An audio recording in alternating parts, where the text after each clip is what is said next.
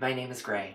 I work for the Oregon City Public Library, and this is Poetry Corner. This week's poem is September Sunlight by Meena Alexander.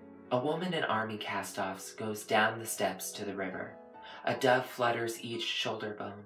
Here Sechi, here Setsuko, she murmurs. Stay, brother sun, stay, sister moon.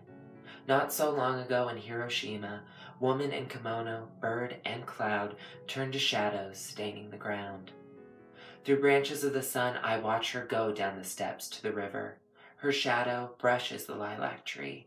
The birds are naked as birds well might be.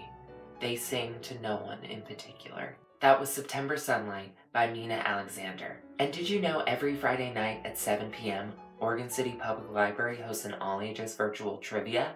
Well, if you didn't, head to this link to find out more information. Go on. Okay, everybody, welcome to AA. Again, this is Antiquers Anonymous. Do it. Who here bought a new armoire? My name's Grey. This has been Poetry Corner, and we will see you next Wednesday.